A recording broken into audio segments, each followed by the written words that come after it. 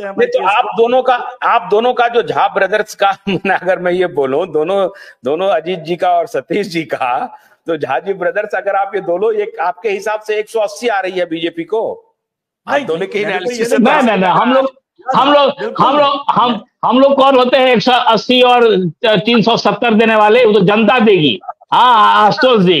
लेकिन हमको लगता है हमको लगता है जो आप ना गोदी मीडिया है ना मोर्चा वाला मीडिया है तो इसीलिए हाँ। आपको तो एकदम जनता क्या सोच रही है उस दृष्टिकोण से चर्चा में चर्चा होनी चाहिए आपके चैनल पे। सर एक दिन। मैं आप कहिएगा तो फिर मैं हाँ इसीलिए हम कह रहे हैं। इसीलिए हम कह रहे हैं।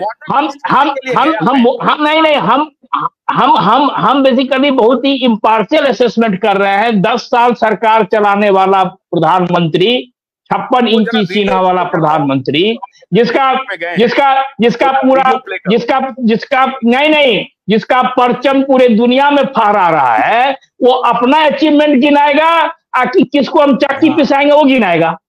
बताइए ना। दैट्स गुड पॉइंट इस इलेक्शन में हम कहा देख रहे हैं गिराते हुए? देखिए ना मैंने आशुतोष पूछा था लोगों से जाकर के सड़क पर इलेक्टोरल बॉन्ड के बारे में अरविंद केजरीवाल के विषय के बारे में।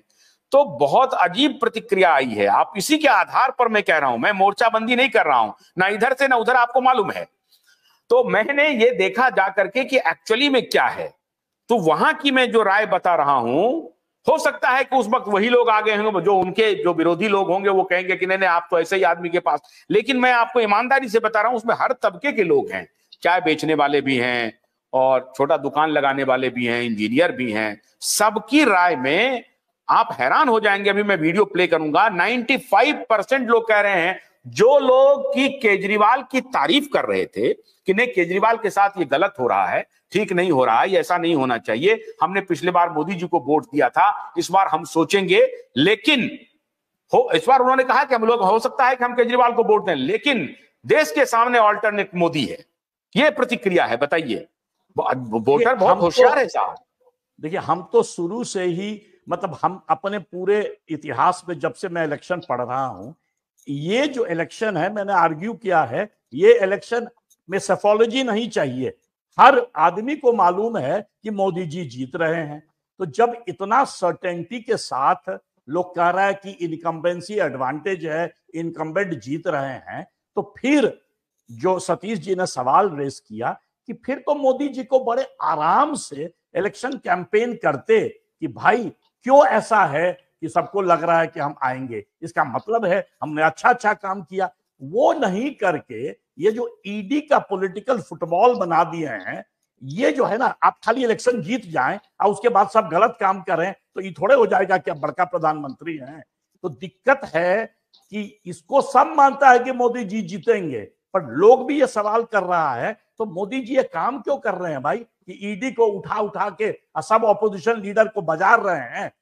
और उसके बाद जो जो उसमें से उठ के बीजेपी में ज्वाइन कर लेता है तो ईडी को बोल देते हैं कि भाई विड्रॉ कर लो केस ये जो है ना अनफेयरनेस जो चल रहा ये स्थिति तो और भी खतरनाक है ना अजित जी और सतीश जी देश के लिए। आप कह रहे हैं कि एक तरफ़ एक हाथ में तो ट्वेंटी नाइन परसेंट का अनएम्प्लॉयमेंट रेट है और महँगाई चरम पर है। और करप्शन अब कोई इशू ही नहीं है इनके सतीश जी के हिसाब हिसाब से। तो ऐसी स्थिति में अगर बीजेपी वापस आती है सत्ता में तो फिर वो समझ जाएगी बीजेपी के साहब ये तो देखिए इस तरह के मुद्दे तो होते रहते हैं हम मैनेज कर लिए हैं। अनएम्प्लॉयमेंट कोई फैक्टर नहीं रहा महँगाई कोई फैक्टर नहीं रहा। अब देखिए ना हम बिहार से आते हैं आप लोग भी बिहार को जानते हैं। बिहार में करप्शन कोई इशू होता है किसी इलेक्शन में? क्या? अस्सी के दशक में गांधी मैदान नीलाम हो गया था। हाँ? वहाँ का जनता यदि वोट देने लगे करप्शन के इशू पे तो वो तो रात को आप सूरज उगना हुआ। तो इसीलिए बिहार का सिचुएशन वही है जिसमें करप्शन नॉन इशू है यूपी में भी हमको लगता है यदि बीजेपी को है तो यदि जोगी जी अभी, अभी उस पर राष्ट्रीय अभी हम केजरीवाल पर सतीश जी सतीश जी आप हाँ, लेकिन केजरीवाल लेकिन केजरी नहीं नहीं अशोक जी केजरीवाल का जो केजरीवाल की वाइफ मुख्यमंत्री बनेगी? नहीं मेरे अनुसार नहीं बनेगी आशुतोष जी। मुझे तो लग रहा है कि सुप्रीम कोर्ट उनको बेल दे देगा। मैं ये नहीं कह रहा हूँ कि सुप्रीम कोर्ट ये कहेगा कि ईडी का केस इलीगल है। उस पर तो अभी टाइम लगेगा।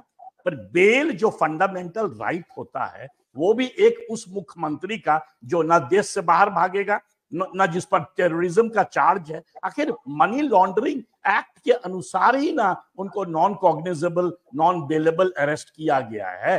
तो उसको फ्लेक्सिबल बना के सुप्रीम कोर्ट मुझे लगता है कि उनको बेल दे देगा, जैसे संजय सिंह को बेल मिला। और मुझे लगता है कि ये जो है, ये ये जो खेल है ना, ये स्मॉल खेल अरविंद केजरीवाल वर्सेस बीजेपी उसमें अरविंद केजरीवाल हीरो बन गए जबकि ज़ीरो थे उसके पहले।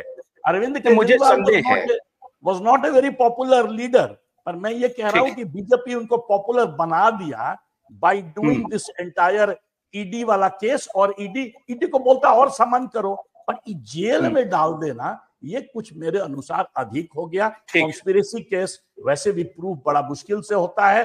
बट हैविंग सेड दैट मुझे आज भी बोलने दीजिए कि अभी भी सिचुएशन वही है कि मोदी जी वापस आ रहे हैं प्रधानमंत्री मोदी जी ही बनेंगे। और ये जो है कि यदि मोदी जी आराम से कैंपेन करें तो पब्लिक ऑपोजिशन भी उन्हीं को वोट आके देगा। जीतेंगे तो मोदी जी बहुत बहुत शुक्रिया। अजीत झा जी और सतीश झा जी, बहुत बहुत शुक्रिया, आपने बहुत शानदार बात कही।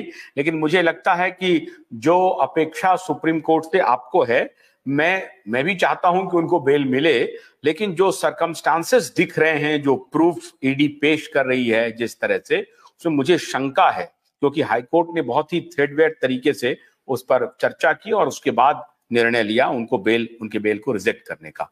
तो अब देखना है कि सुप्रीम कोर्ट का क्या ऑब्जर्वेशन है, ये तो उस पर डिपेंड करेगा। लेकिन ये बात तय है कि दिल्ली की स्थिति अभी डोलड्रम में है।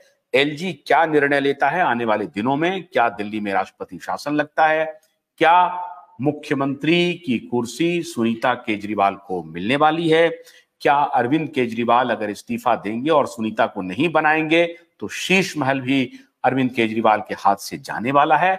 इन सब पर अभी स्पेकुलेशन का दौर है। एक दो दिन में सुप्रीम कोर्ट में सुनवाई होने वाली है। उसके बाद शायद इन सारे सवालों पर विराम लग जाए। बहुत बहुत शुक्रिया। अजीत झा जी, सतीश झा जी, हमसे बात करने के लिए। नौ बजे रात को हमारा आप इंडिया डिबेट आज देखना मत भूलिए। अब से थोड़ी देर बाद आने वाला है। बहुत ही रोचक इंडिया डिबेट होने वाला है। उसे आप ज़रूर देखिए। वो डिबेट नहीं है। हमारी कुछ हमारे कुछ ऑब्जर्वेशन है जो हम आपके साथ शेयर कर रहे हैं, ज़रूर देखिए। तब तक के लिए आशुतोष कर्म दीजिए। नमस्कार।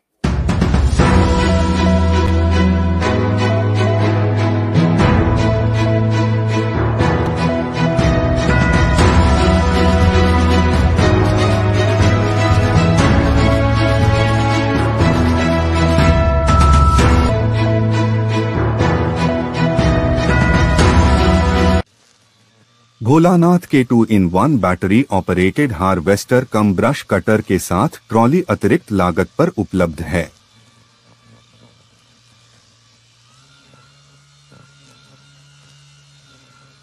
अधिक जानकारी के लिए कृपया दिए गए नंबर पर कॉल करें।